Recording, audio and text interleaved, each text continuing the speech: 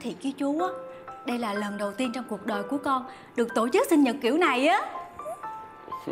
Ủa mà sao chú biết hôm nay sinh nhật của con vậy? Bí mật. Bí mật nữa. Nhưng mà chú cũng chu đáo thiệt.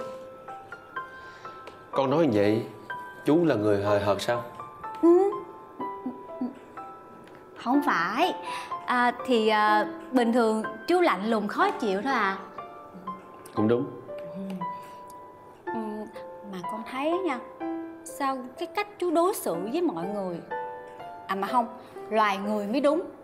Nó khác lắm kìa Khác cách chú đối xử với mấy con cá li thi ở nhà của chú lắm. Con đoán có khi nào kiếp trước chú là cá li thi không? Bởi vậy á, khi mà chú tiếp xúc với mấy em cá li thi chú mới gần gũi như vậy. Chú không biết đâu Lúc mà chú ha chăm sóc, nói chuyện, tâm sự với mấy em đó.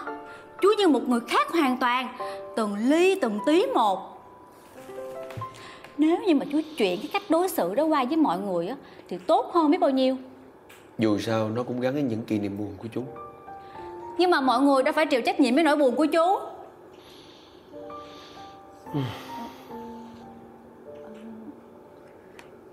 Con xin lỗi chú Con lỡ lời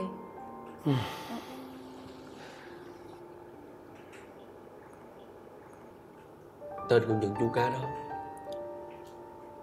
Là những kỷ niệm tình yêu của chú Vì mình ý thức được Đó là người quý giá Đáng trân trọng Một khi họ mất đi Làm sao mà tránh được sự đau buồn? Vậy những người hiện tại Ở bên cạnh của chú không đáng trân trọng hả?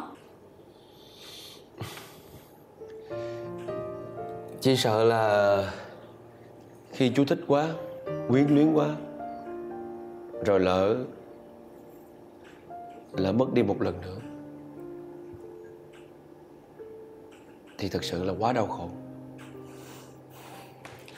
Con thấy á Thứ quý giá nhất mà những người thương yêu của mình để dành cho mình Đó chính là những kỷ niệm đẹp. Kỷ niệm không tự nhiên mà có Mà chúng ta phải cùng nhau xây dựng và tạo nên.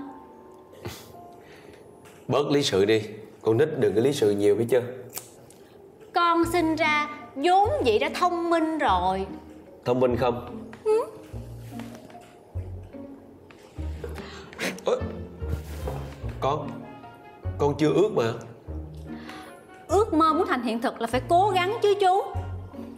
Giống như là để có được hợp đồng này Thì công ty thiên trường mình phải cố gắng Chứ đâu phải ngồi đây thổi nến là được đâu. Nếu vậy công ty mình đâu có thu mua hải sản nữa Mà chuyển sang thu mua nguyên liệu làm nến rồi